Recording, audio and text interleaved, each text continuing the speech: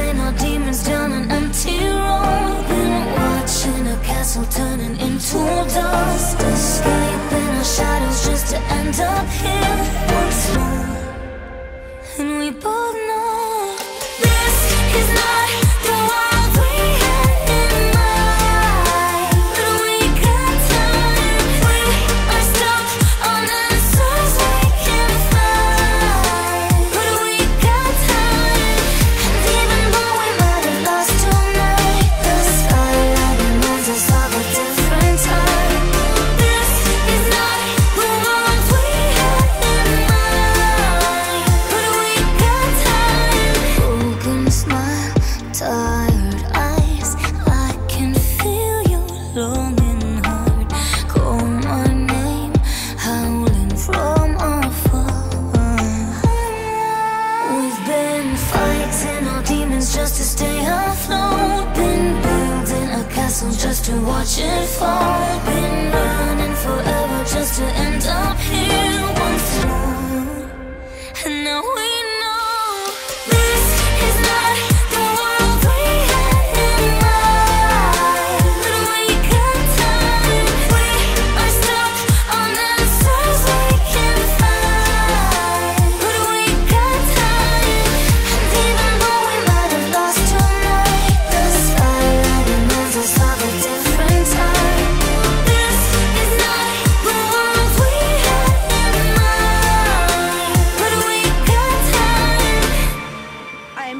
To speak for all generations to come.